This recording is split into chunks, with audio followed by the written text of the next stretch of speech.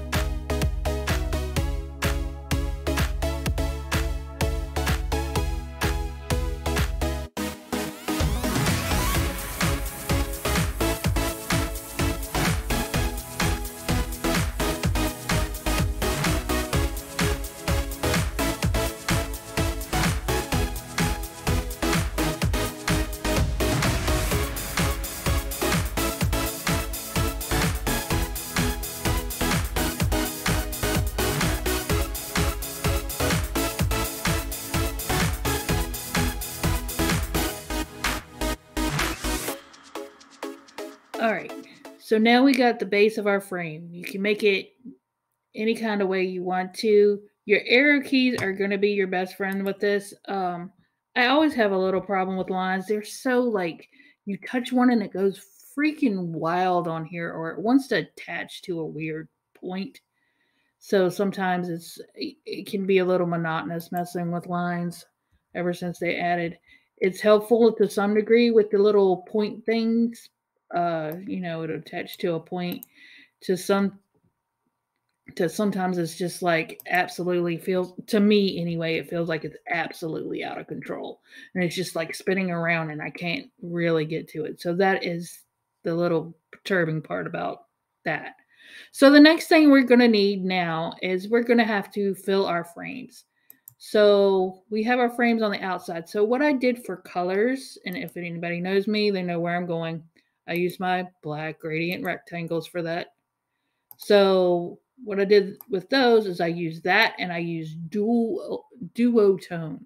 So that's how I got my colors. So I'd go in a duotone and what I would do here, now you're also going to need like white squares and that's to cover and that's just to cover stuff.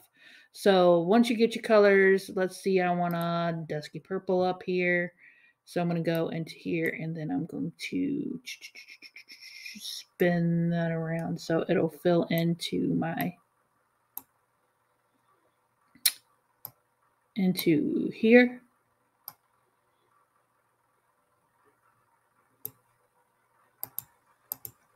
And if you need to make it bigger because you want a different, you want the color to kind of really pop out of there. And then what you can do is you can just crop it down and get it to, but you want to make sure that it's inside that square. And then we'll do another one. We'll duplicate that one and then we'll go pick another color. So while I'm picking my colors up and lining them up, I'll be right back.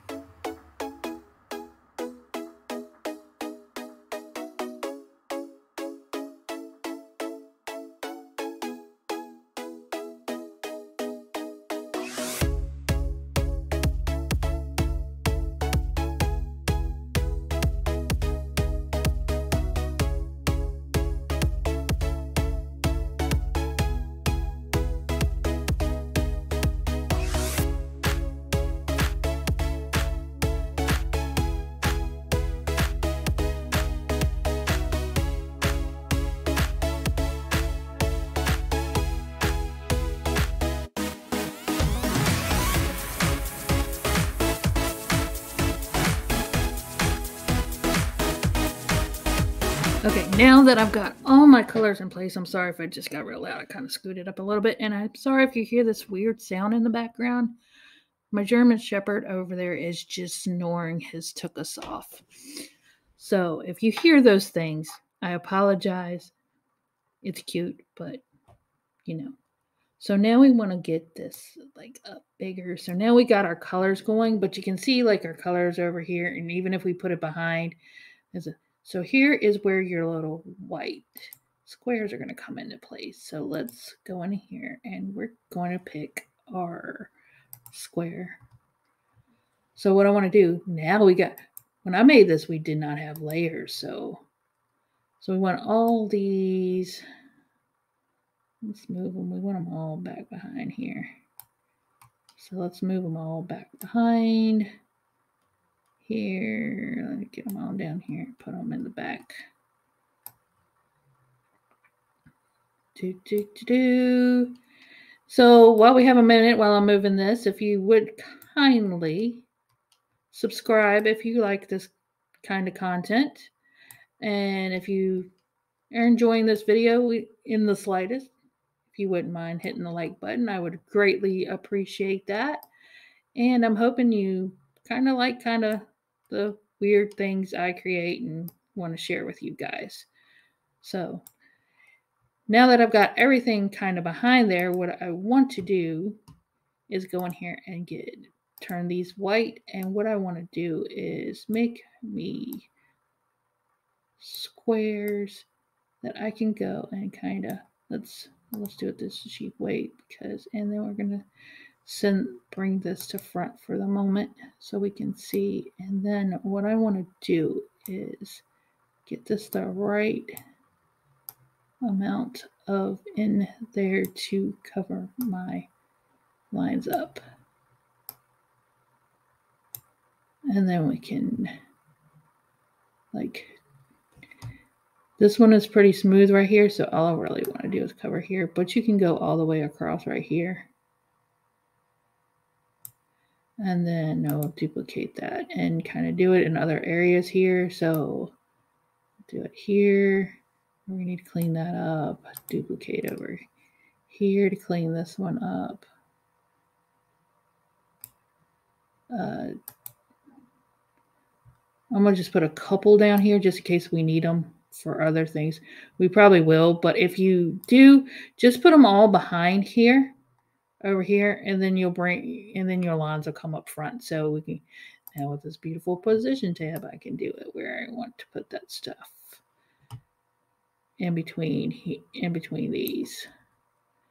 So we want them in between our lines ingredients. And you see how that cleaned that up right there? Oh, I need another one right there. So let's spin that around a little bit.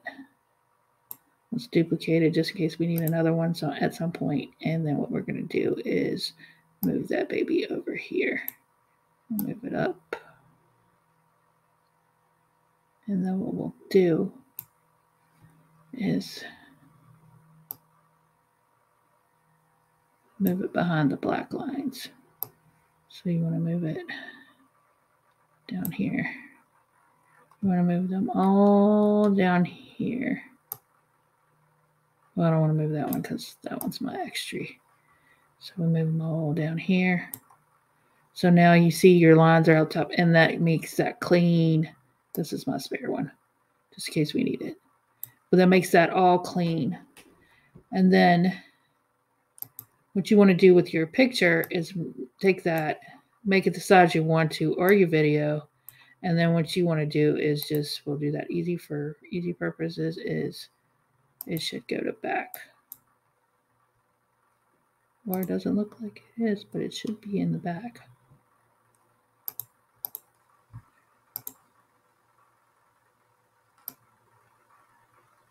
Which, as you can see, more white is needed to for that. Or you can slim him down into other areas. So anything that's shining through, you're going to want to put up, you're going to want to put one of these white lines. Why is not grabbing my white line? Come on, baby. Come on. And you're going to want to put a white line. Or if he if your picture or video is shining through, or you can just automatically make the white lines to go with this um, just for safety purposes and kind of fill that out. And then if you need to stretch it out like this to cover, and then you'll go into position and you want to make sure that is just behind your black lines and not hmm I want my gradient in front of it though. So what gradient do we have over here? These? No. Undo. Not that color. What is this color? Um, do I need to put that in front of it? There we go. Nope, that didn't work. Hold on. I have an issue here. See, I screw up in real time.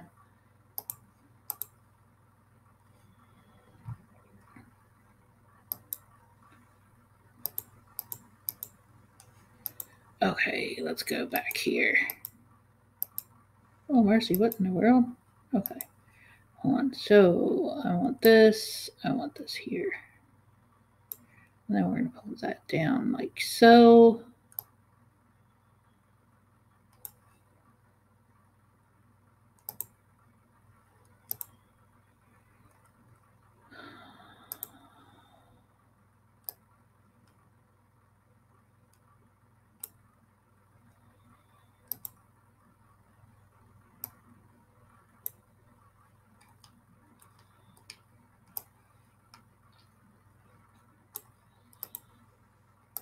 Right.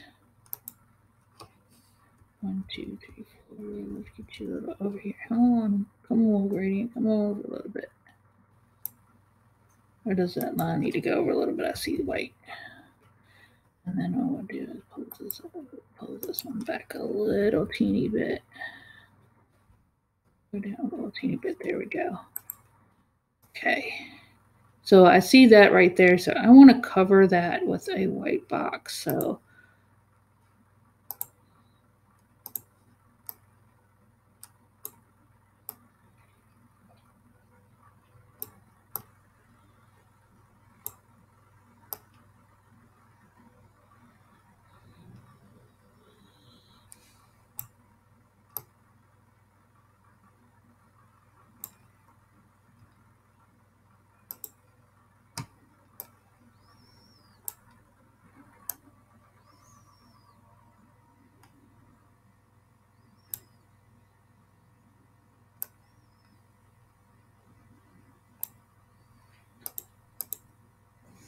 And there we go. We cleaned that up. So now that that's clean, put that down just a smidge. Now that that's clean, all you have to do is put in your little fluff. So I just put in here, I went into comic book, or if I can spell it right, comic book. That's characters. Uh, and then what I did was stick, I, I don't have but the free version, so I just, you know, you just go in here and find whatever you can. If you have Pro, of course, you're gonna get be able to get anything, and I guess it's okay. You just put something like that in the in the corner, and we'll just do random ones, even though I don't have Pro. If you can see, here's the thing, but uh. Let's see, cartoon. See what we got. Um, these are kind of more on the child side stuff, but you you see what I'm saying. I'm just, you know, you want to put something like that down there, or like rocket over here, or I'm sure you can put in more keywords to find out better looking things to put in there than those. But and then also, if you want to do your text, let's go in here. Um, you want to use this right here for your box the comic strip bubble illustration. And you want to use that for your um, text. And for my text that I put in there put I used get your little honey parts in there. I used this a where is it A N A N I A S and that gives you the comic book feel for your text. So, with that being said, that is your comic book frame. And then what you can do is if you need to do something else, you can trash that. And now you have your frame and you can change up your pictures. You can also go, let's go on my uploads and do something like I did before. Let's do my videos. Let's go into doggy video.